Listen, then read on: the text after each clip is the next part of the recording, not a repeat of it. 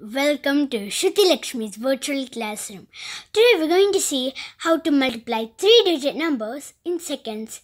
Let's see an example. 104 into 106. Here the base is 100. How much more is 104 than 100?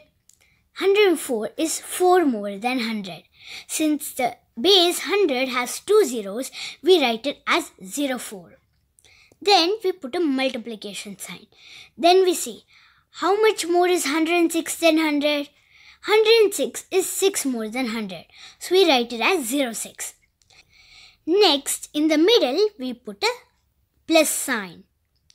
Then we multiply 4 into 6 to get the last two digits of our answer. 4 into 6 is 24. Now we cross add, meaning we do 106 plus 4 and 104 plus 6.